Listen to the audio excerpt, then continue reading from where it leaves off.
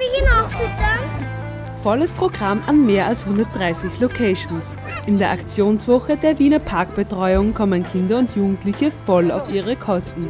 Wir sind im Mexiko Park in Leopoldstadt zu Besuch. Dort zeigt der vierbeinige Therapieprofi Elliot sein Können.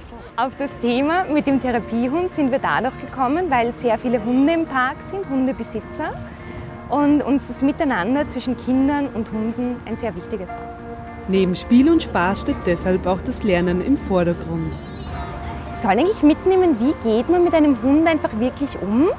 Wie kann man die Signale von Hunden interpretieren und auch Ängste gegenüber Hunden abbauen? Und das geht laut Elliots stolze Besitzerin so.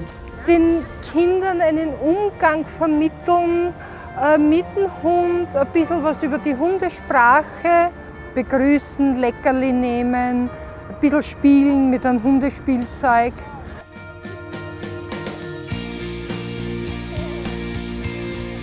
Von Berührungsängsten keine Spur.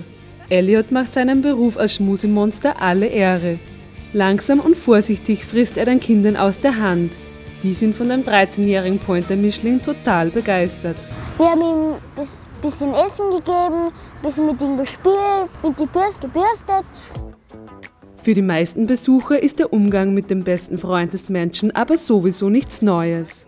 Es sind halt sehr viele Hunde hier und äh, man kann mit ihnen sehr viel spielen. Nach dem Füttern dürfen die Kinder mit Elliot noch ein paar Runden Gassi gehen. Sie haben ihn bereits längst in ihr Herz geschlossen.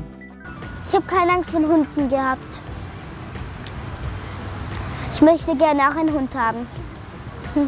Ein wirklich erfolgreicher Tag für die vier und auch für die Zweibeiner.